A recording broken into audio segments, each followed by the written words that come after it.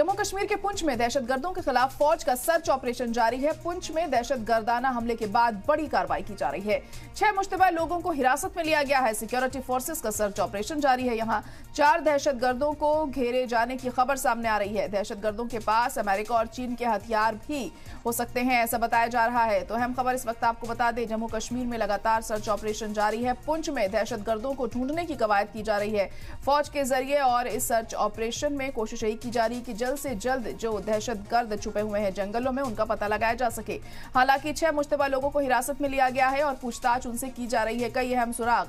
पूछताछ में हाथ लग सकते हैं। आपको बता दें कि ये सर्च ऑपरेशन चल रहा है पुंछ में और कब तक कामयाबी हाथ लगती है सिक्योरिटी फोर्सेस के, ये देखना होगा, क्योंकि कई दहशतगर्द ऐसे हैं जो अभी भी हत्ते नहीं चढ़े हैं सिक्योरिटी फोर्सेस के और उन्हें ढूँढने के लिए कोशिश की जा रही है। तमाम हाईटेक तकनीकों का इस्तेमाल किया जा रहा है। ड्रोन से भी मदद ली जा रही है, क्योंकि यहाँ के जो जंगल हैं वो काफ़ी घने होते हैं और इसमें आसानी से दहशतगर्द छुप जाते हैं और उसी के मद्देनजर उन्हें पकड़ने के लिए तमाम तकनीकों का इस्तेमाल किया जा रहा है सिक्योरिटी फोर्सेज के ज़रिए, ताकि जल्द से जल्द उनका पता लगाया जा सके। तो जम्मू कश्मीर के पुंछ में दहशतगर्दों के खिलाफ फौज का सर्च ऑपरेशन तीसरे दिन भी लगातार जारी है।